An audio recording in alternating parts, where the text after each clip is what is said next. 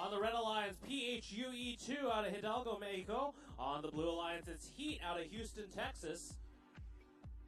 It's a Tex-Mex mix over here with PHUE going up in the autonomous period, attempting to drop one cube in place.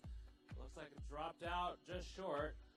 And Red Alliance is done. Let's see if the Blue Alliance is done as well. They're done. Let's cut the autonomous period. And we've broken a transformer, apparently. Drivers in three, two, one, go. What?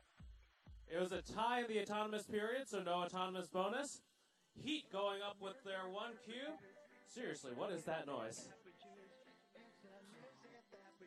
One minute left on the clock for driver control and Heat. Oh no! Heat's over on its side.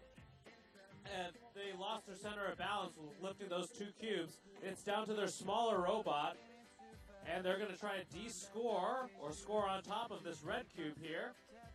Peach PHUE now has a chance to dominate this match. They've taken scored two goals. Now going for a third. Heat scoring down low for one point apiece on the colored tiles. With 30 seconds remaining on the clock, the smaller PHUE robot looking to lift those skyrise sections into place. They've got one, two, going for three now.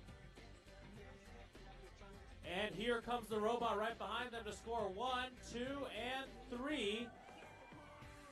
10 seconds remaining on the clock. PHUE looking to drop one more section in place. Three seconds left. And he's scoring no time.